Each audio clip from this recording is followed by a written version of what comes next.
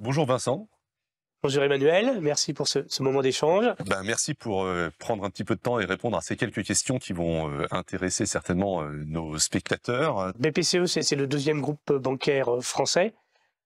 c'est 100 000 collaborateurs, c'est 36 millions de, de clients, avec une offre de banque de proximité et d'assurance articulée autour de, de, nos réseaux de distribution, Banque Populaire, Caisse d'épargne, mais aussi la Banque Palatine et Honnay et euh, une offre, euh, une offre internationale autour de l'asset management, de la gestion de patrimoine. Euh, donc là, plutôt autour des services Global Finance Services, ex-service Natexis. Vincent, est-ce que tu peux nous raconter un petit peu l'histoire de l'APIsation de BPCE En 2018, on a eu une lettre de mission très très claire, c'était de, de construire au travers d'une solution d'API et plutôt basée sur l'architecture REST, un modèle, un modèle urbanisé de nos API qui allait virtualiser nos deux SI, Equinox et My6.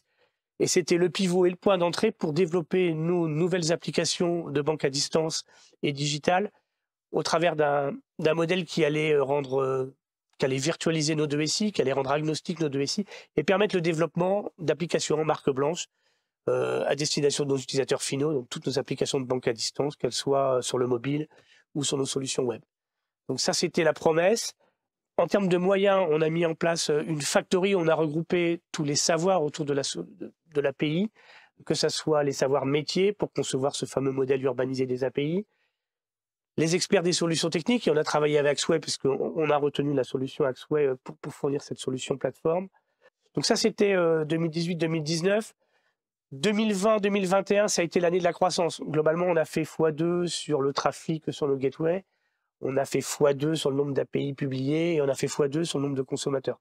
Pour te donner quelques chiffres, aujourd'hui, on doit être sur la partie banque à distance, hein, juste les gateways qui gèrent la banque à distance. On est à plus de 6 milliards de flux mois, on est à 350 euh, applications consommatrices et un catalogue d'API qui doit s'articuler autour de 180 API aujourd'hui, qui représente, bon an, mal an, le modèle bancaire euh, BPCE.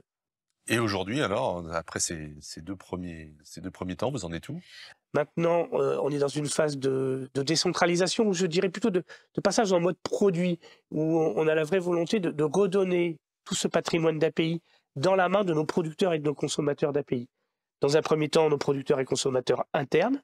Donc, on est dans un schéma aujourd'hui qu'on appelle de décentralisation, où on, reverse les API, on accompagne le changement euh, pour que tous nos produits s'approprient les API de leur patrimoine.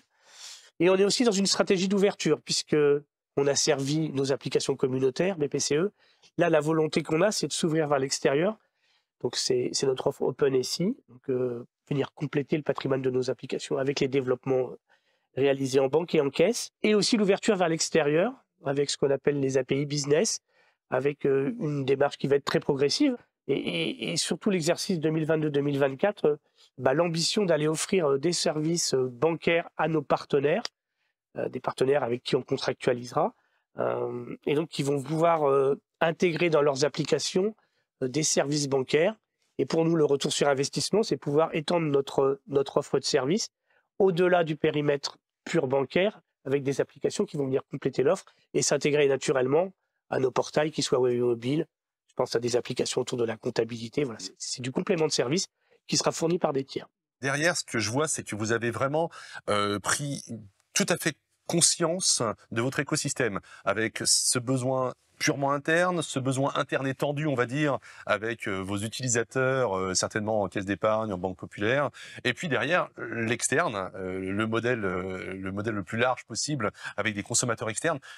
Quel est le, modèle opérationnel euh, qui, sous-tend tout ça en fait? Ce modèle opérationnel, il s'est enrichi au fur et à mesure du temps et, de ses, engagements et de ses promesses d'ouverture. Euh, premier temps, ça a été un modèle où il a fallu euh, être très vigilant sur euh, la maîtrise de notre catalogue. Donc, on a mis en place une design authority, aussi appelée collège, où là, on a été assez dur sur les positions pour avoir un catalogue aujourd'hui qui est bien structuré, et qui nous permet, autour de 180 API, globalement, de, proposer les services qui vont bien pour adresser nos besoins de banque à distance, nos besoins d'assurance et, nos autres besoins. Tout ça, ça a été aussi tout un travail d'indus très très fort. Ça a créé ce socle. Maintenant, avec l'arrivée de, cette, euh, de ces deux grandes promesses que sont la décentralisation et l'ouverture à l'extérieur, on tire de nouvelles exigences. Décentralisation, euh, ça va être des nouveaux rôles qu'on va embarquer dans notre, euh, notre organisation. Le rôle d'API Owner, qui va vraiment être propriétaire de l'API et qui va euh, bah, décliner son, son plan, hein, son plan de marketing autour de l'API. Voilà. Hmm. Il, va, euh, il va identifier ses consommateurs, enrôler de nouveaux consommateurs, faire évoluer son produit. Donc, on rentre bien dans cette logique d'API comme un produit avec un propriétaire de l'API. Euh, et puis derrière, il y a toute l'ouverture à l'extérieur. Donc là, ça nous amène forcément à monter notre niveau d'exigence, comme je le disais, sur tout ce qui est présentation de nos API. Euh, va nous amener à proposer des modules de souscription peut-être plus simples. Aujourd'hui, en interne, on a un processus euh, qui existe pour s'enrôler sur les gateways. Demain, si on s'ouvre à l'extérieur, on peut imaginer des, processus de souscription peut-être encore plus agiles, des parcours plus simples. Et surtout, si on s'ouvre à l'extérieur demain, il va falloir qu'on puisse monitorer ces usages. Donc, il va falloir des contrats, des SLA qu'on va pouvoir monitorer, des usages qu'on va monitorer, puisque ils vont s'engager sur des parcours de consommation, des volumes de consommation. Et l'étape ultime étant peut-être demain la monétisation de ces services. euh, Voilà, euh, on prendra un abonnement pour euh, 1000, 2000, 4000 virements à l'année, je ne sais pas, au mois. Vous, c'est en milliards. Oui, ce sera en milliards. Voilà. Vous pas la bonne échelle, mais c'est exactement ça l'idée. D'accord. Moi, je trouve ça, c'est l'étape ultime de la maturité, je trouve de la maturité sur les API. Alors, c'est un chemin pour y arriver. Je pense pas qu'on puisse partir euh, directement là-dessus. C'est c'est- Construire les c'est- fondamentaux. Voilà, c'est une question de maturité progressive. Je pense qu'on y est là. Donc on a du travail, mais euh, on est arrivé à cette étape-là aujourd'hui euh, dans le groupe. Bah, merci Vincent. En tout cas, bravo encore pour votre projet. Bravo pour avoir réussi à aligner euh, cette, euh, cette apéisation par rapport à votre vision, aux missions de votre groupe. Et euh, c'est grâce à ça, je pense que vous avez aussi euh, une vraie longueur d'avance, que vous savez où vous a- où vous allez. Et euh, j'espère que ça va être un- un- un- une vraie réussite, et j'en suis persuadé. Merci Vincent. Merci Emmanuel. Puis la route est encore longue. Il y a de belles Mais choses à faire fini. sur les API.